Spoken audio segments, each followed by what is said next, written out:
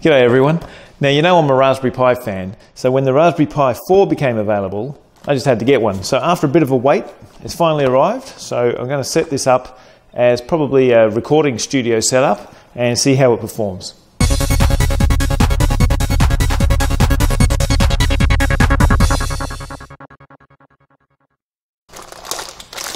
Raspberry Pi 4 case. Good old GPIO, that's what we love it for. So it uses USB-C for the power, which I believe I've got an adapter, which they've stitched me up and they haven't put in there. Cheeky. Alright, I'll work around that. And uh, the HDMI outputs, which we have two of. Anyway, I'll put this in the case and see how it goes. Ah yes, USB 3 as well. So this should be good. Okay, I stand corrected. They didn't stitch me up. It was hiding. My little USB, micro USB to USB-C adapter. right, I'll set up a memory card and boot this up. Okay, I've got the Raspberry Pi sitting next to this computer that I'm going to use for recording here in the music room. And I'm just going to power it from the PoE splitter here. So I'll just plug that into the network. It should power up. And here we go. Okay, the system's now up and running, pretty standard. So I'm now going to download and install Reaper.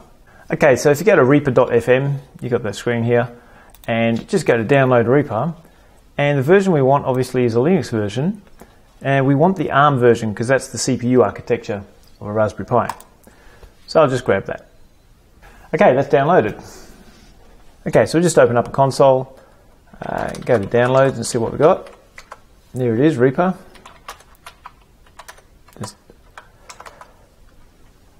Unzip that.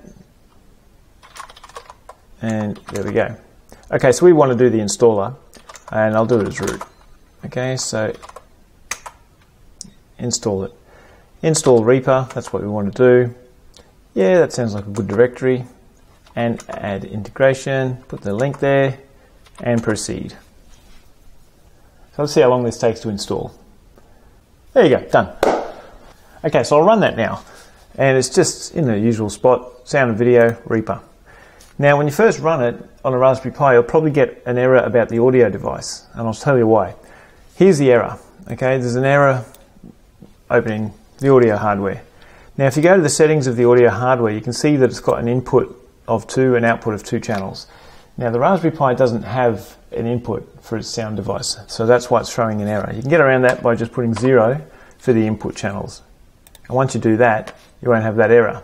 And just to prove that, I'll just close it, start it again,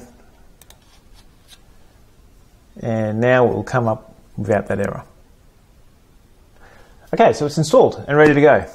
Now, to be honest, I haven't used Reaper much. I'm just starting to, to play with it here, and I like it mainly because it's on Windows, Mac, Linux, Raspberry Pi, Linux. So that's how to install it. So I'll have a little play and see if we can make a track.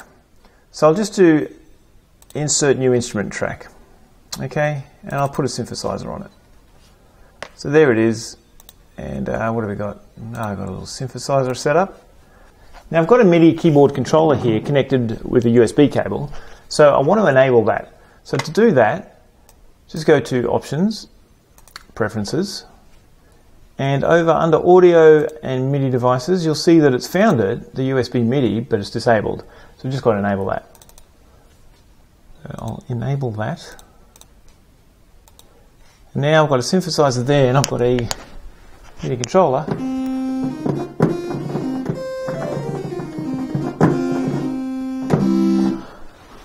Okay, now I don't have a collection of instruments for this yet, so I can only use really what's built in, like little synthesizers, because I usually use Reason, which comes with lots of sounds.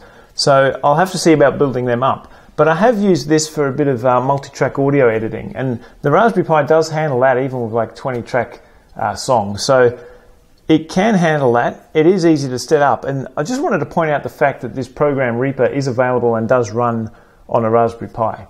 Alright, I've just loaded in one of my songs as separate tracks here just to see how it performs. And you might recognize the music from my YouTube endings. But um, here's how it runs on this thing. So you got all the tracks together. And of course you can break them down to individual tracks or whatever.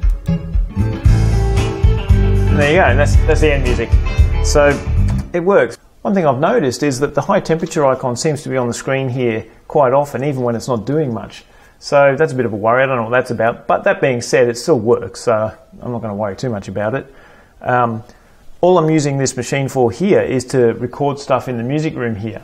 Because any real editing I'll do, I'll do on the, the main computer. But that's the beauty of being able to run the same software on the Raspberry Pi, is that I can just use the same file format, load it on the real computer, and edit it there. So for now, I'm just going to try and get familiar with Reaper and see how I go.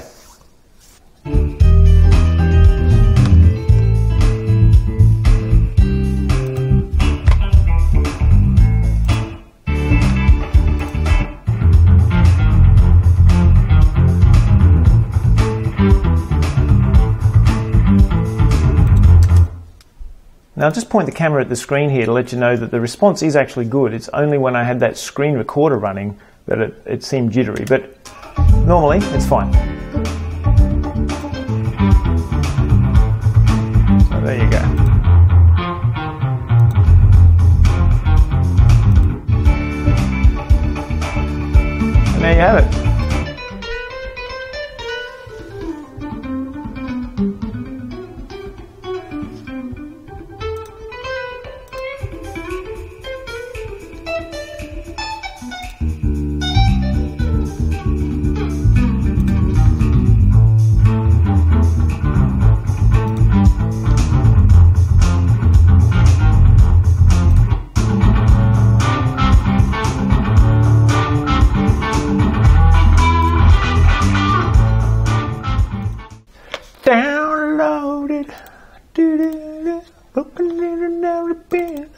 Downloaded.